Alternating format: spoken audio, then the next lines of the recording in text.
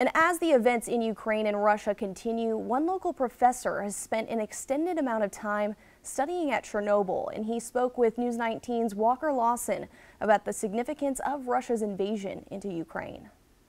It's, uh, it's a huge concern. Meet Tim Mousseau, professor of biological sciences at the University of South Carolina, who has been studying the impacts of radiation from places like Chernobyl. We've been to Ukraine uh, about 50 times in the last uh, 20 years, and maybe might be up to 60.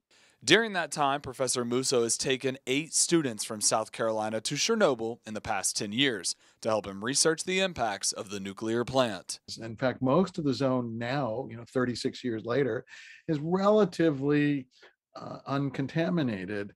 But uh, but again, a sizable portion, probably on the order of a quarter of the whole area, you know, has significant radiation levels. And in fact, we there's a radiation monitoring system in place there, and just the action of these tanks driving through uh, produced a, a, a, large cloud of radioactive dust that was picked up by the, the monitoring sensors. From Mousseau's experiences in Ukraine, he believes there's several motives for why Russia invaded on such a dangerous area the reason they went through uh, Chernobyl is because that's the quickest, most direct way to get to Kiev, the capital city. This is there's a you know there's a there's a well, uh, a, a, you know a, a, paved large road, uh, ideal for heavy equipment.